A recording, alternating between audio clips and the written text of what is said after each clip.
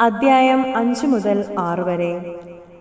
സാക്ഷ്യം നൽകാൻ ശപഥപൂർവം ആവശ്യപ്പെട്ടിട്ടും താൻ കാണുകയോ മനസ്സിലാക്കുകയോ ചെയ്ത കാര്യം ഏറ്റുപറയായിക മൂലം പാപം ചെയ്യുന്നവൻ അതിന്റെ കുറ്റമേൽക്കണം. ആരെങ്കിലും അശുദ്ധമായ വസ്തുവിനെ അശുദ്ധമായ വന്യമൃഗം കന്നുകാലി ഇഴജന്തു ഇവയിൽ ഏതിന്റെയെങ്കിലും ശവത്തെ സ്പർശിക്കുകയും അവനത് അറിയാതിരിക്കുകയും ചെയ്താൽ അറിയുമ്പോൾ അവൻ അശുദ്ധനും കുറ്റക്കാരനുമായിരിക്കും. ഒരുവൻ തന്നെ അശുദ്ധനാക്കുന്ന ഏതെങ്കിലും തരത്തിലുള്ള മാനുഷിക മാലിന്യത്തെ സ്പർശിക്കുകയും അത് അറിയാതിരിക്കുകയും ചെയ്താൽ അറിയുമ്പോൾ അവൻ കുറ്റക്കാരനായിരിക്കും. നന്മയാകട്ടെ തിന്മയാകട്ടെ താനത് ചെയ്യുമെന്ന് ഒരുവൻ അവിവേകമായി ആണയിട്ട് പറയുകയും അക്കാര്യം വിസ്മരിക്കുകയും ചെയ്താൽ ഓർമ്മിക്കുമ്പോൾ അവൻ കുറ്റക്കാരനായിരിക്കും. ഇവയിൽ ഏതെങ്കിലും കാര്യത്തിൽ ഒരുവൻ കുറ്റക്കാരനാണെങ്കിൽ അവൻ തന്റെ പാപം ഏറ്റുപറയണം. അവനൊരു പെൺ ചെമ്മരിയാടിനെയോ പെൺ കോലാടിനെയോ കർത്താവിന് പാപപരിഹാര ബലിയായി അർപ്പിക്കണം. പുരോഹിതൻ അവനു വേണ്ടി പാപപരിഹാരം ചെയ്യുകയും വേണം. ആട്ടിൻകുട്ടിയെ നൽകാൻ കഴിവില്ലെങ്കിൽ അവന്റെ പാപത്തിന് പരിഹാരമായി രണ്ട് ചെങ്ങാലികളെയോ രണ്ട് പ്രാവിൻ കുഞ്ഞുങ്ങളെയോ കർത്താവിന്റെ മുൻപിൽ കൊണ്ടുവരണം. ഒന്ന് പാപപരിഹാര ബലിക്കും മറ്റേത് ദഹന ബലിക്കും അവയെ പുരോഹിതന്റെ അടുക്കൽ കൊണ്ടുവരണം. പുരോഹിതൻ ആദ്യം പാപപരിഹാര ബലിക്കുള്ളതിനെ അർപ്പിക്കണം. അതിന്റെ കഴുത്ത് പിരിച്ചൊടിക്കണം തല വേർപെടുത്തരുത്. ബലിയർപ്പിച്ച പക്ഷിയുടെ കുറെ രക്തമെടുത്ത് പുരോഹിതൻ ബലിപീഠത്തിന്റെ പാർശ്വത്തിൽ തളിക്കണം. ശേഷിച്ച രക്തം ബലിപീഠത്തിന്റെ ചുവട്ടിൽ ഒഴുക്കിക്കളയണം. ഇത് പാപപരിഹാര ബലിയാണ് രണ്ടാമത്തേതിനെ വിധിപ്രകാരം ദഹനബലിയായി സമർപ്പിക്കണം. പുരോഹിതൻ അവനു വേണ്ടി പാപപരിഹാരം ചെയ്യണം. അപ്പോൾ കുറ്റം ക്ഷമിക്കപ്പെടും. രണ്ട് ചെങ്ങാലികളെയോ രണ്ട് പ്രാവിൻ കുഞ്ഞുങ്ങളെയോ നൽകാൻ കഴിവില്ലെങ്കിൽ താൻ ചെയ്ത പാപങ്ങൾക്ക് പരിഹാരമായി ഒരു ഏഫായുടെ പത്തിലൊന്ന് നേരിയ മാവ് അവൻ പാപപരിഹാര ബലിക്കായി നൽകണം. പാപപരിഹാര ബലിക്കുള്ളതാകയാൽ അതിൽ എണ്ണയൊഴിക്കുകയോ കുന്തുരുക്കമിടുകയോ അരുത്. അത് പുരോഹിതന്റെ അടുക്കൽ കൊണ്ടുവരണം. പുരോഹിതൻ അതിൽ നിന്ന് സ്മരണാംശമായി ഒരു കൈ മാവെടുത്ത് കർത്താവിനുള്ള ദഹനബലിയായി ബലിപീഠത്തിൽ വെച്ച് ദഹിപ്പിക്കണം. ഇത് പാപപരിഹാര ബലിയാണ് മേൽപ്പറഞ്ഞവയിൽ ഒരുവൻ ചെയ്ത പാപത്തിന് പുരോഹിതൻ അവനു വേണ്ടി പരിഹാരം ചെയ്യണം.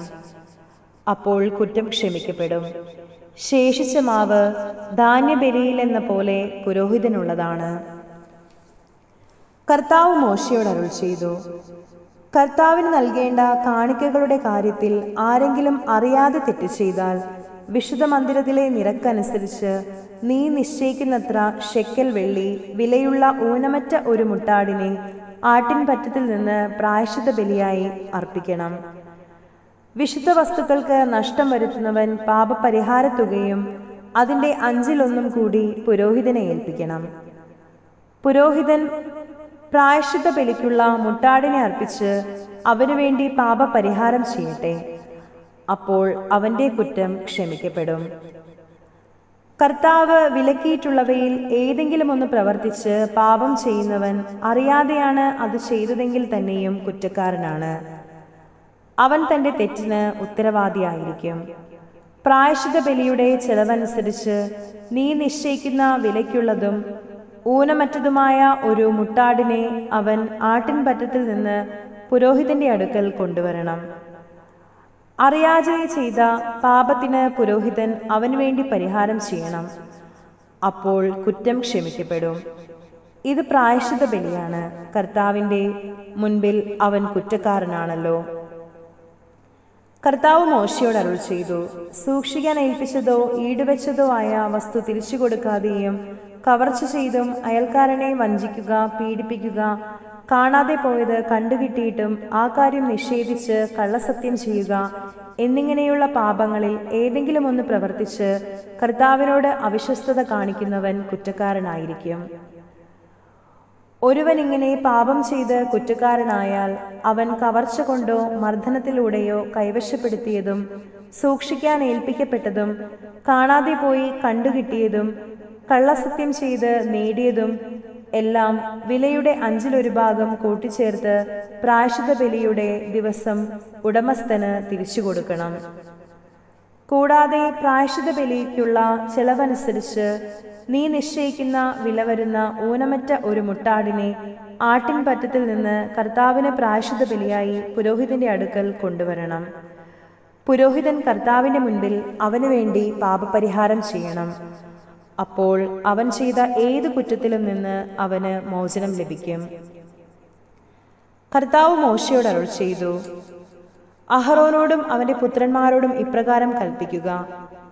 ദഹനബലിക്കുള്ള നിയമം ഇതാണ്. ബലിവസ്തു ബലിപീഠത്തിന്മേലുള്ള അഗ്നികുണ്ഡത്തിൽ രാത്രി മുഴുവൻ പ്രഭാതം വരെ വച്ചിരിക്കണം. ബലിപീഠത്തിലെ അഗ്നി തുടരെ കത്തിക്കൊണ്ടിരിക്കുകയും വേണം. പുരോഹിതൻ ചണം കൊണ്ടുള്ള വസ്ത്രവും കാൽച്ചട്ടയും ധരിക്കണം. കാഴ്ചവസ്തു അഗ്നിയിൽ ദഹിപ്പിച്ചുണ്ടായ ചാരം ബലിപീഠത്തിൽ നിന്ന് ശേഖരിച്ച് അതിന്റെ ഒരു വശത്തിടണം. അതിനുശേഷം വസ്ത്രം മാറി വേറെ വസ്ത്രം ധരിച്ച് ചാരം പാളയത്തിനു വെളിയിൽ ശുചിയായ സ്ഥലത്തേക്ക് കൊണ്ടുപോകണം. ബലിപീഠത്തിലെ അഗ്നി കത്തിക്കൊണ്ടിരിക്കണം. അത് കെട്ടുപോകരുത്.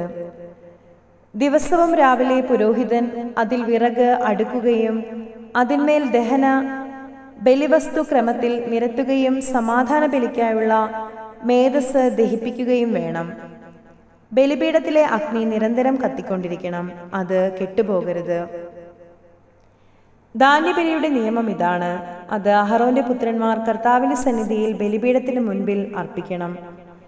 പുരോഹിതൻ ധാന്യബലിക്കുള്ള നേരിയ മാവിൽ നിന്ന് ഒരു കൈമാവും. അതിനുള്ള എണ്ണയും കുന്തിരുക്കം മുഴുവനും എടുത്ത് സ്മരണാംശമായി ബലിപീഠത്തിൽ വെച്ച് കർത്താവിന് പ്രീതികരമായ സൗരഭ്യമായി അർപ്പിക്കണം. ശേഷിക്കുന്നത് അഹറോനും പുത്രന്മാരും ഭക്ഷിക്കണം.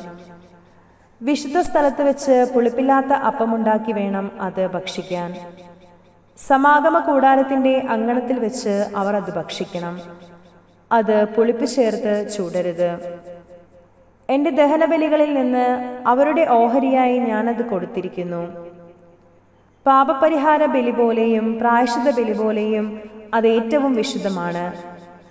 അഹറോന്റെ പുത്രന്മാർക്കെല്ലാവരും കർത്താവിന്റെ ദഹനബലിയിൽ നിന്ന് ഭക്ഷിക്കാം. തലമുറ തോറും എന്നും നിലനിൽക്കേണ്ട നിയമമാണിത്. അവയെ സ്പർശിക്കുന്നവരെല്ലാം വിശുദ്ധരായിത്തീരും.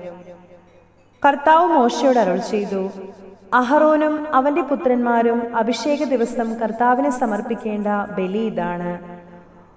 ഒരു ഏഫായുടെ പത്തിലൊന്ന് നേരിയ മാവ് അനുദിന ധാന്യബലിയായി പകുതി രാവിലെയും പകുതി വൈകുന്നേരവും അർപ്പിക്കണം. അത് എണ്ണ ചേർത്ത് വറചട്ടിയിൽ ചുട്ടെടുക്കണം.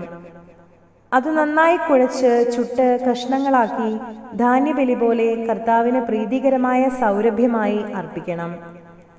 അഹറോന്റെ പുത്രന്മാരിൽ അവന്റെ പിന്തുടർച്ചാവകാശിയായി അഭിഷിക്തനായ പുരോഹിതൻ എന്നേക്കുമുള്ള നിയമപ്രകാരം അത് കർത്താവിന് സമർപ്പിക്കണം. അത് മുഴുവനും ദഹിപ്പിക്കണം. പുരോഹിതന്റെ ഓരോ ധാന്യബലിയും പൂർണമായി ദഹിപ്പിക്കണം. അത് ഭക്ഷിക്കാൻ പാടില്ല. കർത്താവ് മോശയോട് അരുൾ ചെയ്തു. അഹറോനോടും പുത്രന്മാരോടും പറയുക പാപപരിഹാര ബലിയുടെ നിയമം ഇതാണ്. പാപപരിഹാര ബലിക്കുള്ള മൃഗത്തെ കർത്താവിന്റെ സന്നിധിയിൽ ദഹനമെലി മൃഗത്തെ കൊല്ലുന്ന സ്ഥലത്ത് വെച്ച് തന്നെ കൊല്ലണം. അത് അതിവിശുദ്ധമാണ്. പാപപരിഹാര ബലി അർപ്പിക്കുന്ന പുരോഹിതൻ അത് ഭക്ഷിക്കണം. സമാഗമ കൂടാരത്തിന്റെ അങ്കണത്തിൽ വിശുദ്ധ സ്ഥലത്ത് വെച്ച് വേണം അത് ഭക്ഷിക്കുവാൻ. അതിന്റെ മാംസത്തിൽ തൊടുന്നവരെല്ലാം വിശുദ്ധരായിത്തീരും. അതിന്റെ രക്തം വസ്ത്രത്തിൽ തെറിച്ചു വീണാൽ ആ വസ്ത്രം വിശുദ്ധ സ്ഥലത്ത് വെച്ച് കഴുകണം. അത് പാകം ചെയ്ത മൺപാത്രം ഉടച്ചു കളയണം ഓട്ടുപാത്രത്തിലാണ് പാകം ചെയ്തതെങ്കിൽ അത് നന്നായി തേച്ചു കഴുകണം. പുരോഹിത വംശത്തിൽപ്പെട്ട എല്ലാ പുരുഷന്മാർക്കും അത് ഭക്ഷിക്കാം. അത് അതിവിശുദ്ധമാണ്. എന്നാൽ വിശുദ്ധ സ്ഥലത്ത് വെച്ച് പാപപരിഹാര കർമ്മം നടത്താൻ ബലിമൃഗത്തിന്റെ രക്തം സമാഗമ കൂടാരത്തിൽ കൊണ്ടുവന്നിട്ടുണ്ടെങ്കിൽ ആ ബലിമൃഗത്തെ ഭക്ഷിക്കരുത്. അതിനെ അഗ്നിയിൽ ദഹിപ്പിക്കണം.